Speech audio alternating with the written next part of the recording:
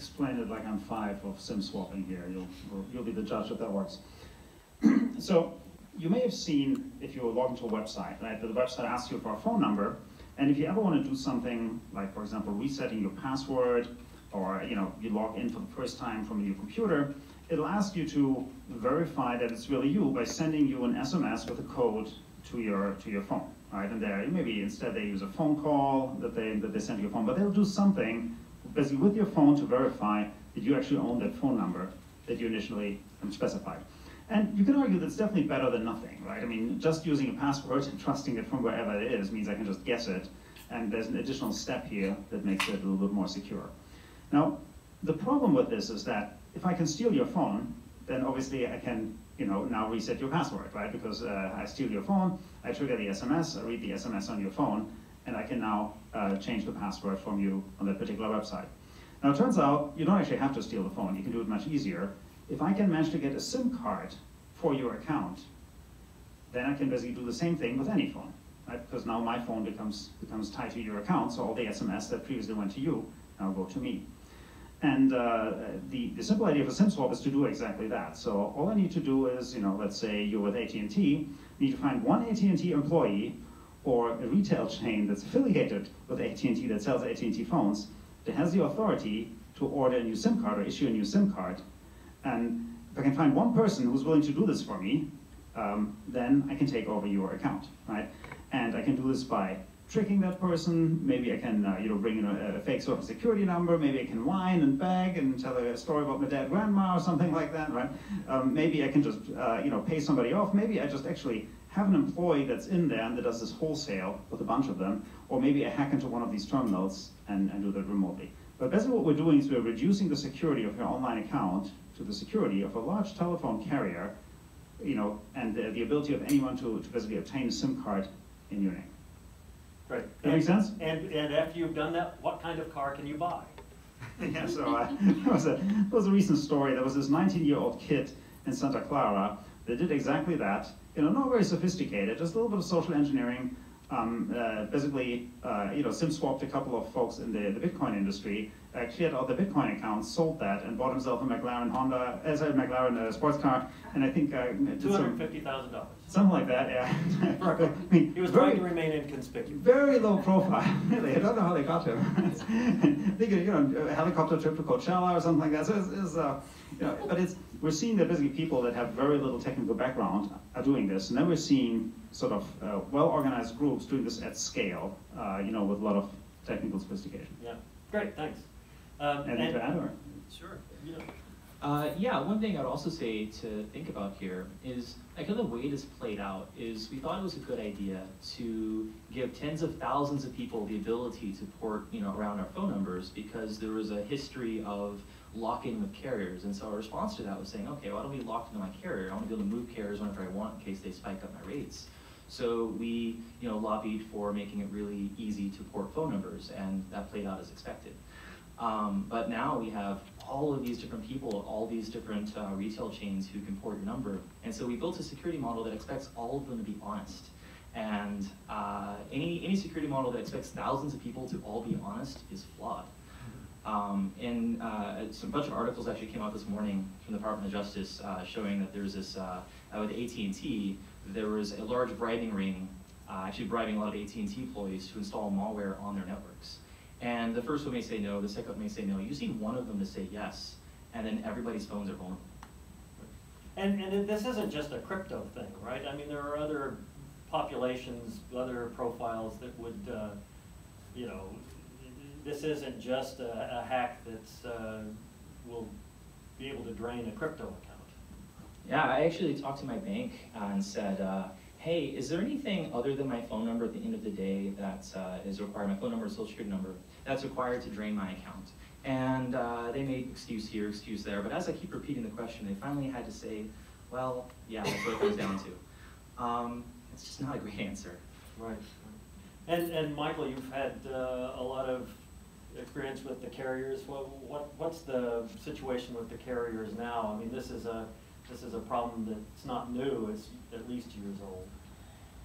Yeah, it's at least five or six years old. It's been accelerating, and they are burying their heads in the sand. Um, they are just doubling down on denial. And, um, you know, their response to uh, my lawsuit when I got hacked, well, I got hacked the first time uh, after employing quite a bit of security.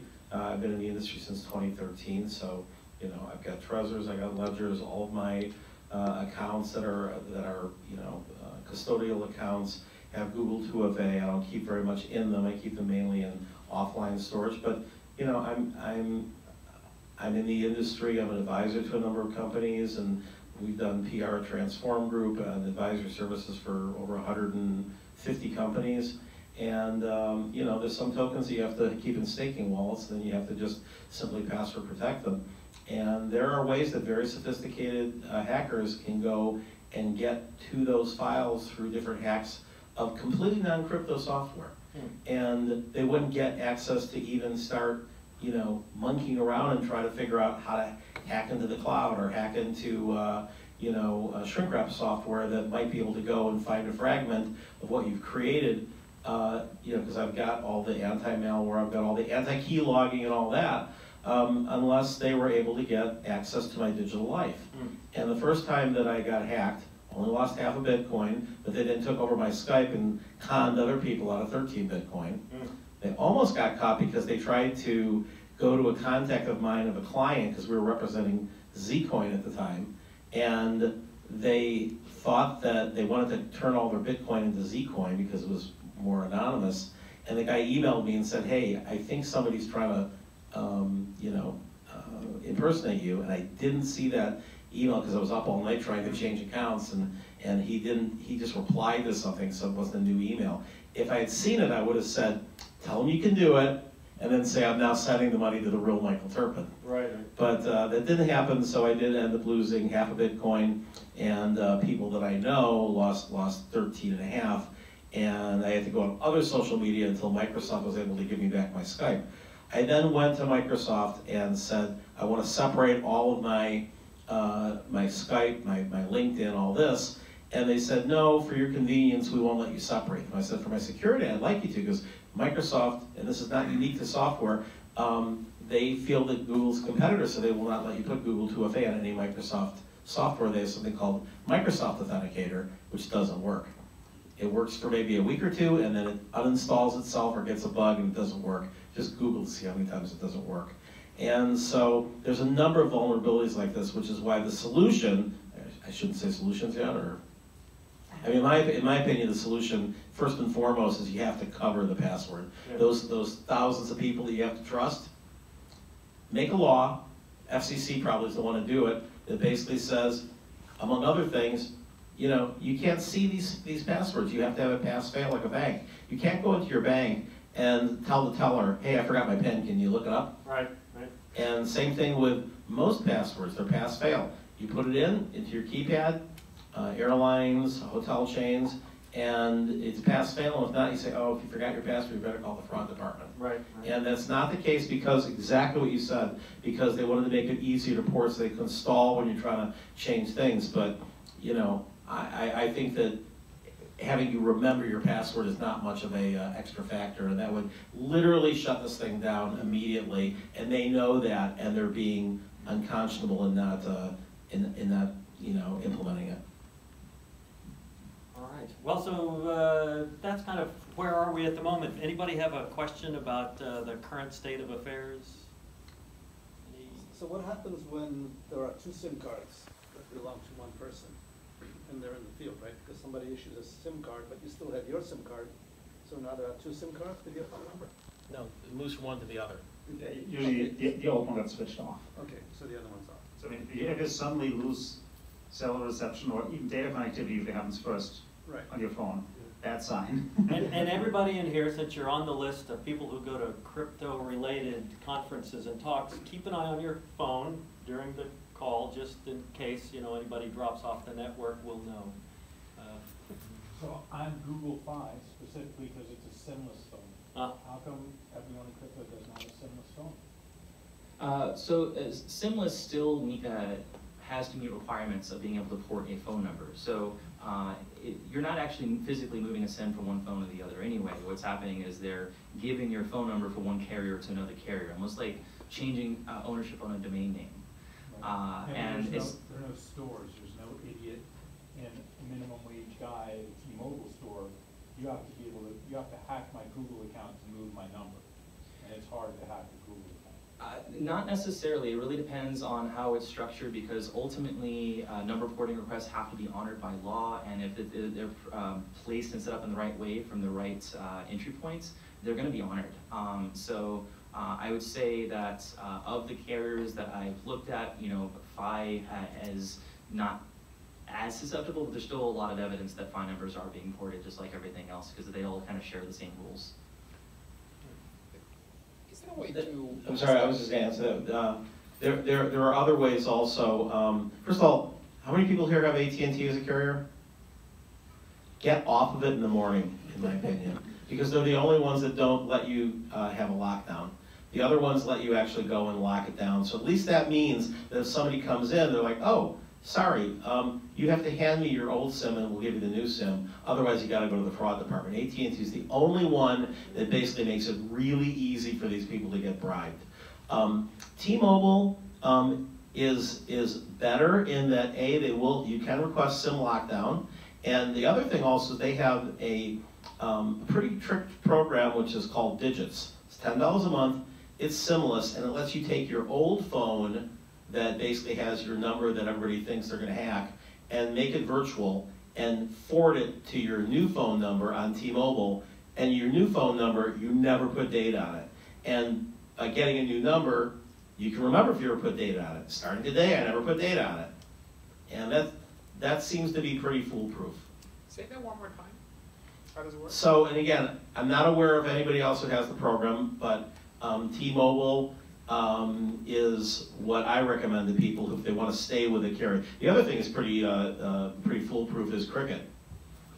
You just simply have a, a, a plan that's a, it's a burner phone, basically. You have to go and just go into a place and pay by cash whenever you, whenever you want to re-up your minutes. I mean, I know a number of people who had Cricket phones for their, uh, who were like old-time Bitcoiners who had Cricket forever just because they were digital nomads. They, you know, couldn't get a phone because they were like, you know, kind of didn't have the same address or any time, or they didn't have a lot of reportable income or whatever. The second all of a sudden they got a good job and they went and got uh, AT&T, boom, they got hacked. And um, so uh, uh, Cricket is really good. It's just a little inconvenient for people to go and say you have to go and, you know, oh, I'm out of minutes, I got to go and buy a new card. But Digits, D-I-G-I-T-S, um, is a T-Mobile product.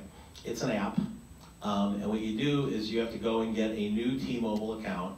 Um, and you know you get it with a number that basically is just your friends and family number. You never, ever, ever use it for, for T, 2FA. You then put it on SIM lockdown, and then you sign up for the digits using a address that you're not particularly you know known for, and ideally a, a name and a phone number. Maybe that's not associated with you if you really want to be completely tin tinfoil about it, and um, and then you forward the number that people would be trying to hack, the one that's associated with you, and that you know they've tried to hack before, or they did hack before, and that then forwards into your phone, and it's seamless. In fact, you can actually reply from that number, both by text and by. Uh, I use it; it's a good product.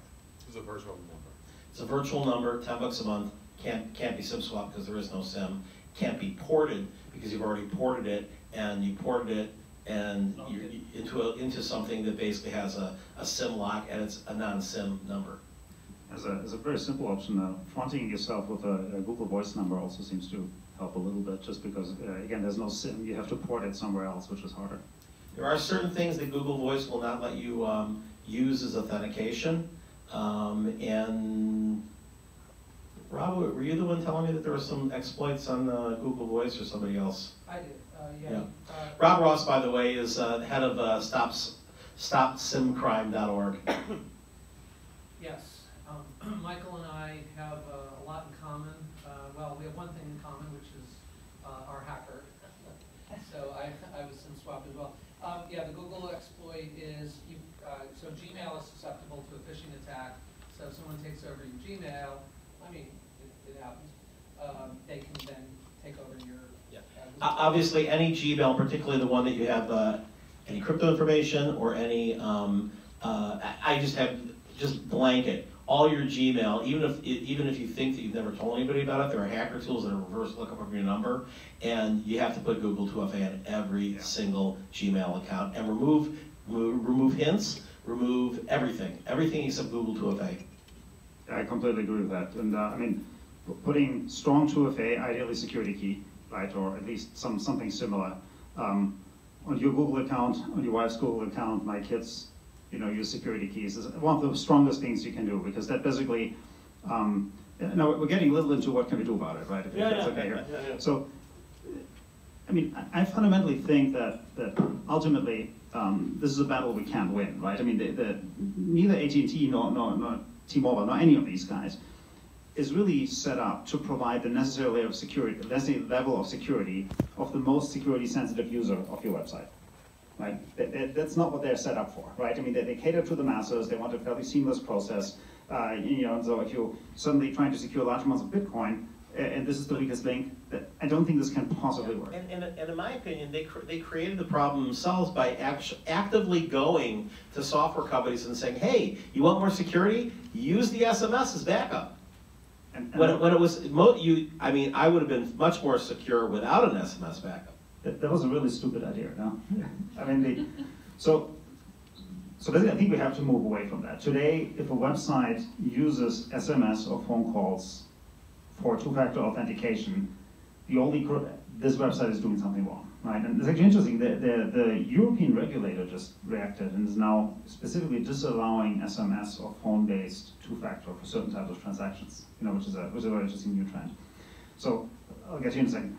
Um, so you know, the, and, and if you look at, for example, at Google, right? Uh, Google about nine months, no, six months ago, I want to say, um, they allow you to turn off SMS and phone-based account recovery. So you can go in there and say, the only thing I want to allow is, uh, you know, two-factor uh, using a hardware dongle, for example, like a hardware key, right? Which is incredibly secure. If you look at the Google research, actually published some really good data where they're comparing different ways of authentication um, and, and how they uh, how they do in against different types of attacks. So they basically they, they took lots of attacks. You know, they your wholesale phishing, they just you know blanket. Have the more targeted phishing that maybe you know has the right company header or so. And then there's the spear phishing. It's this email from your boss on a Friday, referencing transaction you know about. I immediately need you to uh, do X Y Z, right? So and and if you look at them. Um, Still, across 360,000 accounts, they had zero compromises if they used uh, like like hardware-based two-factor authentication. So, so that's kind of where we're, now we're on to where are we going? And uh, that's a pretty good example. Uh, Lance, you want to chime in with, uh, what is it? Is it getting better or worse? I mean, uh, I guess that's one question. I, you know, I, uh, on the way over here, read a BBC article about uh, North Korea getting, uh, making $1.6 billion on stolen cryptocurrency. Uh, and, and that being one of the major sources of income for their recent, I mean, so how, is it getting better or worse? Can you really protect against uh, an organized state actor? Uh, I, I think that you absolutely can, but uh, not with the tactics and uh, methods that we're using today. Uh, we, the, the, the capabilities are here, and the tactics that we're using to protect ourselves are way on here. Um, uh, and, and even when we think about approaching like a symptomatic thing, like, okay, how do I protect my number from being ported? This, this is a good question to ask. But we also have to ask, once we stop that problem, what's, what's the, the next attack if we're still using SMS? Um, you can actually buy $20 devices on Amazon right now called RTL SDRs. You can plug it in, and in the United States, it's required that you can downgrade um, uh, text message communications down to 2G. Uh, that means that you effectively can force someone's text messages to be sent in plain text. Uh, now, it is technically encrypted, but the tools to decrypt it are less than $100. So um, that just means that, okay, we made that attack a little bit harder. Now they're going to move on to the next easiest attack. We need to be a few steps ahead here. Um, and we have a lot more thoughts on, on, on solutions, but uh, uh, I, I don't think it's going to get better until we're willing to change our habits and the, the need to say, I'm used to using SMS and I have to have SMS be reliable. Uh, we have to start pushing back on, on that completely to other methods. Yeah, and today is about, talking about, uh, about, about SMS, which again is, you know, over a billion, probably two or three billion.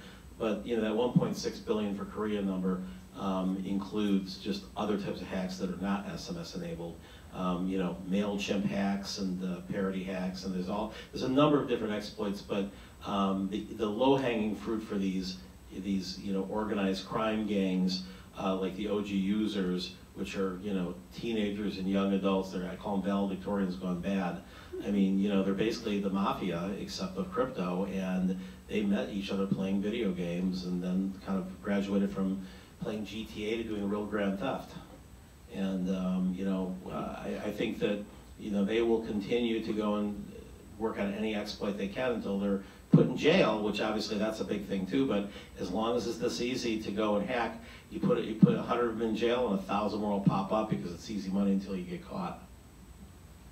One of, one of the things also that I think is contributing to the challenge, I mean, certainly you mentioned before the um, kind of convenience factor of being able to port the numbers, but in my attack, uh, one thing that I noticed, um, so first of all, I used a, a, a authenticator called Authy. Does anybody use your use or have Authy?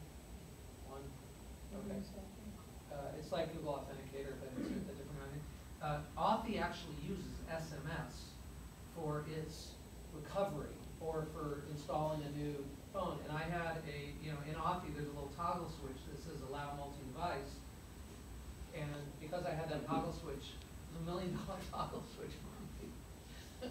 Um, and when I was talking with, um, Coinbase fraud, uh, and Gemini fraud, uh, the fraud departments, they have actually spoken with Authy about not having the, uh, uh, uh, this off by default, or, or rather not having it turn off, uh, by default, because, uh, it would provide too much friction for the customer. So I think one of the things that's happening is this whole battle between ease of use and, you know, friction with security, because how many people is it really impacting? It's impacting, I mean, it's starting to impact, um, you know, a lot more people, but, um, one of the big problems I see is that it's not like you have, you know, the, the Coinbase, Gemini, AT&T, Verizon consortium to combat SIM swapping. Um, they're just kind of all doing their own thing and they're passing it off to each other, and so, you know, it's kind of a problem that nobody's really saying that they wanna own. So, so what's, uh, if, if, if it's not really getting better because the actors, the bad actors are, have more and more exploits, what, what's the path, what's a good path from here? I mean, do we all have to get so, uh, sophisticated, even more sophisticated than the people in this room? Uh, individually, is that the only way we're gonna be able to knock this down a little bit? So, so my impression is right now, actually, we're, we're not actually trying. I mean, the, so, so as a website, if you still have SMS-based account recovery or what Authy is doing there, I'm sorry. You know, this is, today, today it's no longer um, best of breed. Like when, when I'm trying to anticipate where are we going all as an industry, I usually um, look at the, the big tech companies first because they typically have the highest pain points and, and so you know, often are the best in, in innovating, right? If you look at what the, you know, pick any, Google, Amazon, Microsoft, what these guys are doing, they all have deployed hardware tokens at scale at this point, right? So, so you know, the little, not sure if everybody's seen these little USB tokens like this. Ah, there we go, perfect. So you can basically, it- it- these things cost, you know, twenty bucks or so, including shipping. Um, Basically, they generate a key on them, and they're basically unclonable, right? Which is kind of a nice property, right? They're- They're tamper resistant, so basically you plug them into your computer, you touch a contact, and they can authenticate you to a site. Um, if you lose them, it's gone, right? But at least nobody can copy this thing, and certainly nobody can copy this thing remotely, right? That's a, it's a very simple but very powerful property, because that means if this is the only authenticator that you've enrolled, uh, then somebody remotely taking over your account is not possible, right? And typically, you probably want to enroll two or three in case you lose one, right? Otherwise, it's a very, uh, the very. So if you, if you look at, if you uh, start a large tech company today, there's a good chance that in day one, they'll give you one of those or two of those, right? Two, so you never call the call center. just if, uh, if you lose one, you can just grab a new one from the fishbowl. Um, the, the price points of these things are, are getting low enough that I think in the future, um, many people will use them, right? The, the other part of the equation is actually, um, we're starting to see some new standards, so you may not even need a hardware dongle anymore. There's a, you know, if you look at the, the latest authentication standards, there's WebAuthn and FIDO2, right? Before there was US, was, uh, um, uh, U2F and, and FIDO. So these are standards that basically allow you to enroll a similar chip as it is in these little hardware tokens that's inside your phone for authentication. So basically, you can go to a site, you can say, I want to register this phone as a trusted device. Uh, they say, okay, you know, apply your fingerprint, generates a little key in a, in a secure enclave, and um, then basically uses that key in the future to authenticate that phone. And again, it's basically now impossible to clone that authenticator from that phone, or almost impossible. And uh, you know, it's definitely very, very difficult to do that remotely. So now you have you have created a trusted device that can make a huge step forward.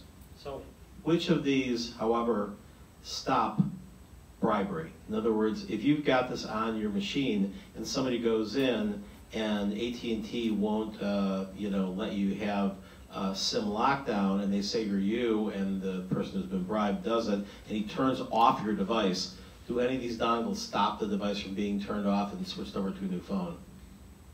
So if you can bribe AT&T and basically saying, ignore that device, take another device as yours, obviously no, right? Yeah, that's what happens in the majority of the cases. That said, um, I currently, for every single site where it's possible to turn off SMS or phone-based Right. uh, reset, I've turned it off, right? And you should.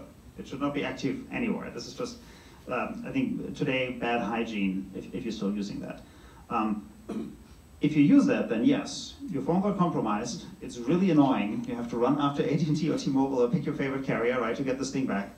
But at the same time, your, you know, whatever, Binance or, or Coinbase accounts is still safe because there you're registered with a security token and them having your phone number actually doesn't help them at all, right? Your Gmail account is still safe. All the other accounts that you have are now unaffected from, from uh, somebody having compromised your phone. Number. And that's because you've generated some kind of token on the phone, but it's not associated with the SIM Exactly. card, right? Yeah, and Google 2FA does largely the same thing. And the one thing also for those of you using Google 2FA, don't put it on the same phone that you use for every day. Um, because if you lose that phone, then you're screwed. Put it on like a, I mean, the best practice is, you know, get an Android tablet and just put it in a safe. And uh, one without a phone on it, just like a, a, a Wi-Fi tablet, put it in a safe and make sure every time you do it, you put down the recovery key because if you, if that device dies, you have to go in and use that recovery key to put it on a new device. If you lose that, then you have to actually go to the service and prove you're you. So can I get, with Google 2FA, you mean the Google Authenticator? Google Authenticator, yes. I want to get on one more soapbox here and say, I, I, I don't think that's the right solution either. And there's, the Google Authenticator has many really good properties, right? I mean, it's, uh, it's not guessable, it gets stored in secure enclave, that's all good. It still has one problem, which is that it's fishable, right? Sorry. It's phishable. Right, so, so basically, I set up a fakegoogle.com, right? I get you to go to fakegoogle.com, type in your, your number. I immediately use that with realgoogle.com, and now I'm in your account. Does that make sense? Well, typically it's not fake Google, it's fake Binance or fake wherever you end up putting it on. Exactly, but, but basically, I can, I can capture what you type in, I can send it to the real site, and I can now log into the real site. And this may seem, you may wonder like, okay, how easy is this, right?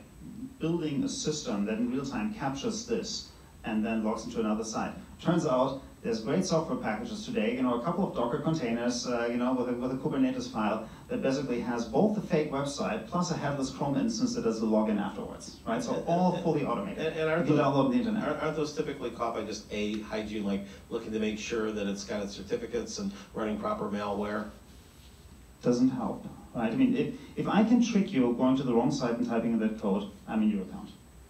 So, Right, but that, you didn't answer my question. Oh. I mean, if you know how to how to see a fake account, like you, when you go in, you actually bookmark the real account, you make sure that it has an accurate certificate. all that helps. It can be really difficult, right? I mean, you know, things are spelled similarly. Honestly, some of these sites use brain dead names sometimes. You know, I, I worked in a large company that, that shall remain unnamed, where, you know, suddenly for login, I was uh, to redirect to something like PPP-2. So I called, you know, So now- now we're- now we're- like, now oh, that's legitimate. Now we're talking about spoofing, which is a huge problem as well. I mean, for example, um, if you're on Telegram, I mean, I, I'm, I've got, well, actually, Reese sent me someone who tried, who, who basically created a fake Michael Terpin account and tried to sell him mining investments. And Chris, you know, we've known each other for a number of years, and just the way that the guy talked, you kind of knew that it wasn't me. It's like, I think it said, do you like my content? yes. Would you like to hear of an investment? sure. and then it's like, make thirty percent per day or whatever. And he's like, paying me. It's like, I think you're being spoofed. And the best one I ever saw, by the way, if you have a name uh, that has, I mean, first of all, in every social network you can get sort of, uh, you know, kind of authenticated ones, get them uh, verified accounts. But uh, the best one I saw, because I've had several people on Telegram, you know, pretend to be me and be at Michael Terpin 11 or whatever. I'm just at Michael Terpin on every social media. Um, and somebody actually got, and someone said, hey, you know, uh, somebody was just trying to get Bitcoin from me. They've taken over your Telegram account. I said, no, no, this. He goes, no, look at it. It's at Michael Terpin. He's like, it was at Mike L with a number one instead of an L. Ooh, really good. So if you have an L in your name, make sure you get that one. Don't use it for anything. Uh, one thing I would uh, add to this is, um, so I have done a lot of uh, phishing and, and, um, and security research and also for, for companies and whatnot, and uh, uh, I found that I can consistently phish even security researchers, CTOs, etc., who are good at this stuff because you catch them early in the morning and you catch them with just the right hook, something financial. Hey, did you expect this transaction? Click here to find out, right? You tailor to them just right, you get an emotional hook, and they will fly right past it. And then it's just, oh look, a password prompt and a prompt to put in your Google 2FA, and you'll just do it if it's if you think it's important, you think it's urgent. Um, and so uh, we can't even really trust ourselves fully to do it right 100% of the time. So we have to have a tool that'll let us do that. Um, one other addition to Google Authenticator, I've actually audited the code for both um, iOS and Android. Um, and, and, both of these, it actually just stores in an SQLite text file. Um, it does not use a secure enclave because the secure enclave on most phones uh, does not actually support the TOTP algorithm required. So uh, in short, um, if your phone has any exploits on it at all that allow other apps to read the files of other apps, which is very common in both iOS and Android, um, they can take your 2FA token master seed and use it all day long to generate codes. Uh, so this, this is also a dead-end method, and Google, who helped promote this, is also seeing this as a dead-end method and promoting hardware tokens now. Another reason to put it on a different device. yeah. The, so, so one last thing on the, the point of phishing here, right? I think any good authentication mechanism in the future needs to be phishing proof, right? And because, again, I, I think you're completely right, right? You can probably trick me if you try hard enough. Uh, Google Research actually had some really interesting data on, uh, you know, I think the they got they the, of, of, all the accounts that were attacked with highly um, specialized phishing attacks, they said about 20% or so, um, you know, were compromised uh, if they used something like Google Authenticator. Right, so 80% protection is not bad, but, but still 20% um, breach is pretty bad, right? So there, there are modern protocols today, like, like WebAuthn, that actually are effectively phishing proof. And let, let me explain how this works, because it's actually pretty clever.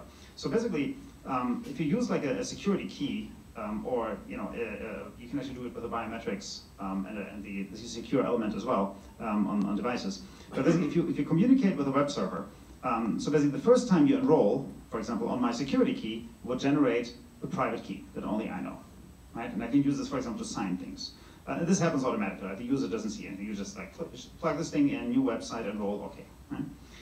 Now, if I go to that website again to authenticate, the website will basically, my, my browser will take the domain name of that website, and then we create basically a digital signature over a challenge plus the domain name of that website. A little technical here, but, but bear with me. So think about how this works with a phishing site you know, he is uh, redirecting me to uh, fakebinance.com or something like that, you know, for him to, to type in my, and, and I'm using my authenticator. It now takes from the web browser, fakebinance.com, plus the challenge, signs that and sends it back. So he now has a valid authenticator for fakebinance.com. The problem is he can't use that for real Binance, right? Because the domain name is stuck in there. If he presents it to real Binance, real Binance is like fakebinance.com. That's certainly not an authenticator I would accept, right? So by basically having support in the browser to take the domain name as part of the security handshake, is redirecting to another site doesn't work anymore. And that's a huge step forward, right, by basically taking that out of the equation. It was mentioned a little bit earlier about key logging. So we're talking about taking a, an iPad, putting it inside a locker in a safe deposit box, but then we take that code and we plug it in, and sure enough, we get key logged. So how do you address that? Uh, so I actually, um, uh, at uh, some of the firms I work with, uh, we I've used keyloggers in the wild many times, and uh, I've had people use them on me. And ultimately, it comes down to designing it to where if you had a keylogger, it wouldn't matter. Um, and uh, in my case, since in order to access servers or sensitive things or whatnot, because I'm using a hardware token, um, before I can actually access any of these uh, sensitive services, this token is going to physically start blinking, and I need to be there to physically touch it. So you can keylog me all day long, and you'll see me ranting about various things on the internet, but you won't actually get the uh, token required to uh, do this sort of handshake in order to be able to do an authorization. Um, this is very powerful. It means as long as I have this physical thing with me, I can be confident that nobody's gonna uh, take my accounts away. Uh, There's some pretty good, there's some pretty good, um, Um, anti-key logging software, uh, Zemana, for example, is very good. And, you know, I think you can, you know, put it on like three or four computers for like a hundred bucks a year or something. And, uh, it catches stuff. I mean, it's more anti-malware that it catches, because I don't think I've actually ever been knowingly keylogged, but it does say you're safe for being keylogged every day when you put it up. Uh, th- there is some software that, uh, that, that does make some of, some of these claims, and uh, I, I'm, I don't know the ones specifically they're talking about. Um, but the keyloggers, a, a lot of the ones are being deployed right now, especially when there's high value targets. Uh, one of them was deployed on the uh, Apple uh, wireless keyboard. You could just do a drive-by attack, do a pair with it, install software, uh, special firmware on the keyboard itself that will make the keyboard itself keylog you. Uh, and then later you can come out and pick up those keystrokes. This is not going to be detectable by software on the computer because software is not running on the computer. Uh, likewise, uh, you could bribe someone in cleaning crew uh, to say, hey, plug in this special USB cable. Um, I've actually got some in my bag. Uh, This, they look like real USB cables, they're undetectable. Yes, unbelievable. yes, I actually have some, uh, every time somebody feels like something uh, is wrong with an organization to work with, they'll, they'll, they'll bring the cables. This is one of the, one of your special cables, uh, because they look absolutely identical. You, you cannot tell them apart from regular cables. You swap out the whole keyboard or cable. Uh, there are digital methods that are very hard to detect as well, but, uh, physical methods are even harder. So, once again, I think we just have to anticipate, um, just assume that everything is being keylogged and say, if that's true, am I still protected? And if the answer is no, then you might want to reach one of these other methods. So, so we've, we've talked about, uh, phishing and key logging, and, and what are the other couple of, just to summarize before we run out of our forty-five minutes? Phishing, key logging, and what are the other uh, attack vectors that, uh, that you wanna protect against? And I'm, I think, if I've understood correctly, that the hardware token, the YubiKey or whatever, uh, hardware token you wanna use, would protect against all of those other attack vectors. Is that, am I getting the right idea? I, I would say they're protecting against most classes of attack, um, at least most of the popular classes of attack, and it is dramatically better than any other option that users can easily reach for today. Um, I'm a big fan of uh, YubiKeys, also use uh, uh, uh, uh, uh, Trezors and ledgers for other specific use cases where you need a screen on the device. Um, but there's a lot of great devices in the market to help uh, with uh, with this sort of thing. And the number one, I, I've helped deploy these at a few organizations, and uh, always the big fear is. But that's complicated. That sounds hard. That sounds difficult to use. But we already carry around these secure enclave things on our, our, our credit cards all the time and uh, they have a actual secure enclave device on it. I won't say a very good one, but it is one. Uh, and you put in a PIN number and you use it. Uh, so something you have plus a PIN number or, or a touch or something like this. Um, we're already used to this, so we just translate that same uh, thing to our online activities. We're going to have dramatically better security. I think one other thing we're slowly starting to tackle is how we deal with mobile applications, right? Because they run into many of the same problems. So um, this thing is actually not available yet, but we've announced it. So this is a, a Lightning YubiKey, right? So you can actually use the same, uh, you know, one side USB-C, use that for your MacBook, right? And the other one you have Lightning to use with your phone. So you can use the same hardware token for, for both your mobile transactions and your, and your computer transactions. Yeah, and, and on, on that note, uh, uh, I'll shamelessly plug your product since it's not as appropriate for Thank you. so. Sorry about that. Um, yeah, uh, so another product they offer, in addition to Google Authenticators, I was just saying it stores it in plain text, so a product called Yubico Authenticators. So for those services that's, that don't support hardware tokens directly and say we only support Google Authenticator, it's a drop-in replacement. You install the app, and so to get my codes, I just tap my key to the back of the phone, and my, my phone is just acting as effectively a screen um, for uh, uh, those codes. Uh, and so once again, this means that the secret isn't living on my phone, and so if others are the malware on the phone, it can't actually take that secret and generate codes free for all. Um, this is still not anywhere near as great as something like WebAuthn, um, but as a stopgap, it's, a, it's, it's great. So, i- i- is that what you would recommend, your, your bank, right? Is that what you would recommend, you say all users in order to use mobile banking now have to have one of these physical hardware keys? And if you would conjecture if you think that that makes sense from like the consumer's perspective. Uh, I, I know for organizations that I've advised, I've, uh, you know, told them, and, in some cases they've actually done it and said, uh, these customers that aren't willing to move to one of these secure methods, are they worth the risk? Are they worth the fraud risk that they represent? And uh, most customers, they say, hey, here's an, another alternative to use, they'll use it. Because ultimately, if somebody has a lot of money or, or the bank or whatever, they want to store these things securely, they're going to one of these organizations because they don't trust it being under their mattress. They're saying, hey, can you protect this? Tell me how to do it. They're looking to that company to tell them what to do. And if that company says, oh, just use SMS, it's fine, they're going to do it. If they say, here's a YubiKey, I'm going to mail you one, they're more likely to do that. Um, so we also have to put pressure on these companies, as those of us who are a little bit better educated, to help out those who aren't. I guess that, that was another part of where are we going. It, it, it- there's things that we can individually do, but, uh, you know, to protect ourselves. Uh, but the guy who was at stopsimcrime.org has left. Are there, are there group things that we can do to, uh, to make the carriers change their ways or to get banks to use, um, something other than SMS as a reset? Okay, I think, I think that's slowly happening, right? I mean, the, if, if you're, just to, to continue on the bank for a second, right? If you're a bank, typically how you think about this is uh, what's the fraud risk, and, and you know, it's, it's more or less a financial uh, argument, right? Is, is it more expensive to get my users uh, a, a security key and then support the security key, or is it more expensive just to eat the losses, right? Very often it comes, comes down to that. I would just add, and also the loss of adoption, right? You, you also run the risk that you offer a solution like this and your users say, no thanks, I'll go to Wells Fargo instead. Very true, yeah. And the, so the, what we're seeing is that at this point, um, for low-end retail banking, I, I see very few banks jumping into that yet, right? Let's talk again in three years, but, but that's, that's where we're today. At the high end, uh, like, like the, um, you know, um, uh, high net worth individuals, right? They were actually seeing relatively broad adoption of, of top banks that they're starting to handing out these devices, say, look, if you want to do business with us, right, you need to use a hardware token, right? And then we'll, we'll send a trainer if necessary, you know, um, just because it's from a risk perspective, it's, it's worth it. If you look at the, I mean, today, um, it, it, funnily enough, it's no longer banks that have the most valuable assets that they're protecting, right? Often a large SaaS company has far more valuable assets in the data than a bank has in the money. Does that make sense? Uh, and if you look at the, the large SaaS companies, they're almost all using some form of security token uh, at this point.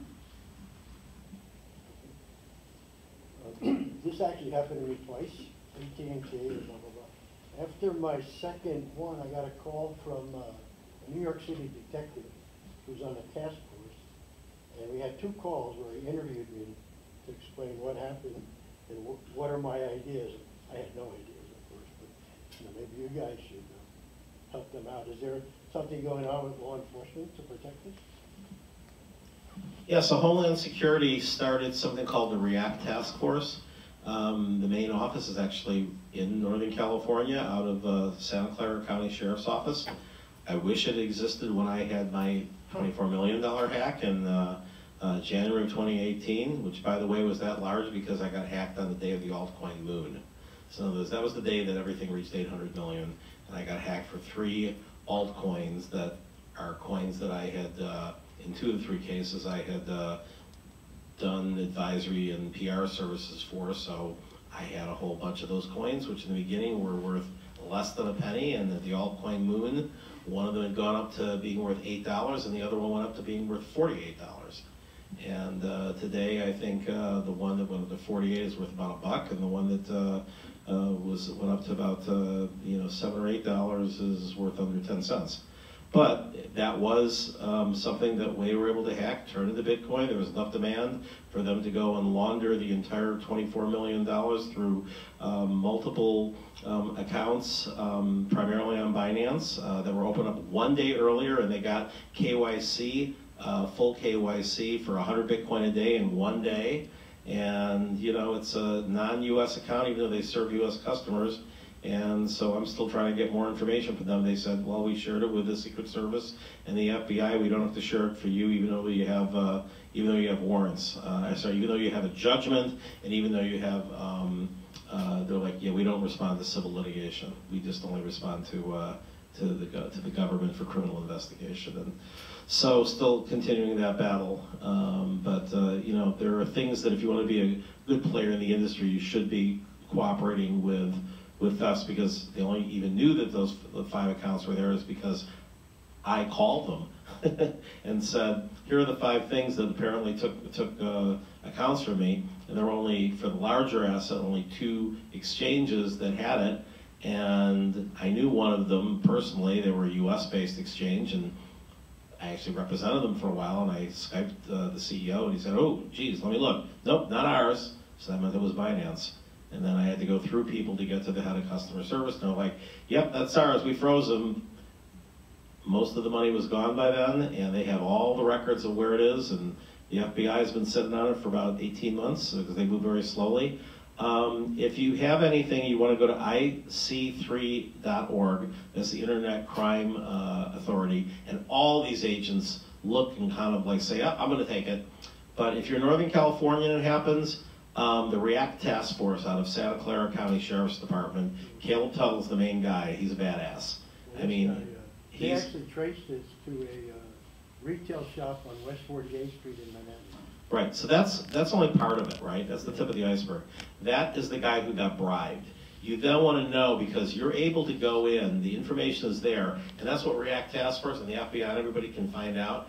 Um, the difference between React and the FBI um, is that the FBI, they like to go and round up everybody and then do the, turn on the TV cameras, we just arrested a gang of 12 people, and if it takes them two or three years, that's what, that's what it takes. Whereas with React, because they're a local group with Homeland Security um, backing, they're able to actually go to a local judge and say, hey, I have some information that we need a search warrant, and a local judge will give it to them. That's how they were able to bust Nicholas Truglia, who robbed a million dollars from him and was part of the gang.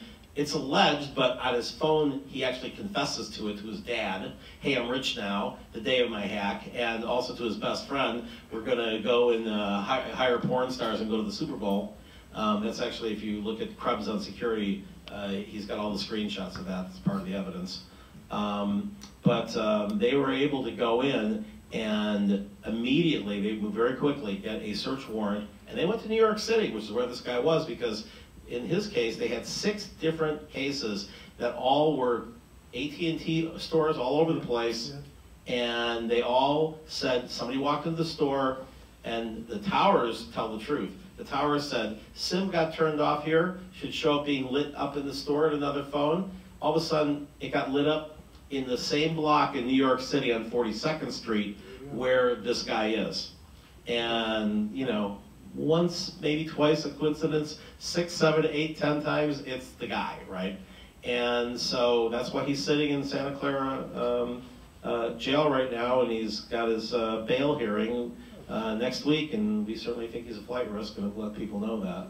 So Um, can law enforcement actually do something here? Oh, they arrested this guy. I mean, in general, in the general solution, is there a? Well, I mean, obviously, if more people acted like, well, first of all, if it happens to you, your best bet is, first of all, act quickly, right? So you want to, first of all, make sure that you call the telephone company and keep calling, calling, calling until somebody turns it off. Because as long as it's not turned off and returned to you, they can still keep on just fishing around. They can go and get your domain names changed. They can go and, you may not remember what 15 years ago you put a phone number on, and they, they know that. They can figure that out.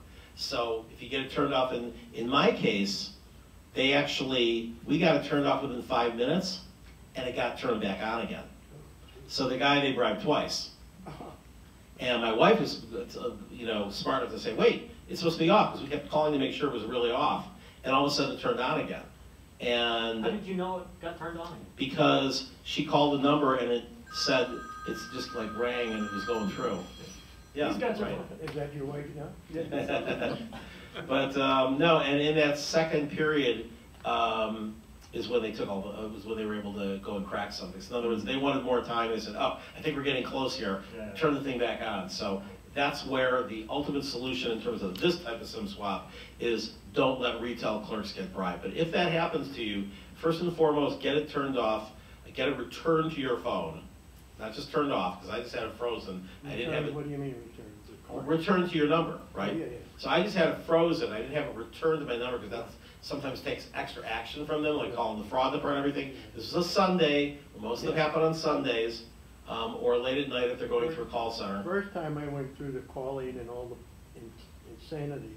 The second time, I, I'm, I'm- like you said, I'm talking and there's no, my phone's dead and I know I have signal. So you go on another co- No, phone, you make sure that you get it frozen and then, yeah, I- frozen and then, and then, and then the other thing also to do within, as fast as you can when the, when the store is open, Yeah. go in That's and say, I wanna look at the logs. That's what they did. Because Five then you can see where it is. Yep. And then you ask also, I got a picture of the logs, they weren't happy about it, but I snapped the picture. The Oh. guy actually at AT&T the first time said, Right. that's AT&T property, I said, call the That's police. cool. You showed it to me in a public place. The second time, I didn't even take that chance, I just had my wife ask, and I'm in the back going click, click, click, click, click. No, And, because then if you actually see the full log, you can see the actual, um, IMEI, um, and you can, you can track it, and you give that to the authorities, and they can just show where it got lit up. And then they will go to a local, if you're using Santa Clara, and you're all here in California, um, Northern California, they'll go get a warrant, and they'll bust the guy the next day. They've been very good at busting people, uh, the FBI is not. Uh, one, one quick thing I would add is, um, I've been party to a few of these cases, and people have it happen to them, and I, you know, end up trying to help walk them through what to do. Uh, that also means every time somebody's phone service drops, they call me and say, I, I, you know, what do I do, right? Uh, yeah, but, uh, uh, but uh, in, in in a few cases like this, um, oftentimes it's somebody remote controlling something in the US, and if the person that is actually doing this, or the group that's doing this is outside of the US or in a country that doesn't extradite, uh, I, I've, I've talked to Secret Service, they'll often just say, sorry, in this situation, we have a lot of these, we're aware of it, we're keeping an eye on it, there's not much we can do about this case. Um, so the thing that you, you can do is just move away from SMS services. I know for me, it's a really great feeling to know that my number gets ported right now, the damage that you can do to me is very small. And it took a lot of work to set that up, um, but, uh, the personal security that gives me is worth it. Well, Pimo gave me the, uh, the hook, so, uh, we'll, we'll break now and you guys can, uh, ask questions as long as, as long as these folks will, uh, stick around. thank Perfect.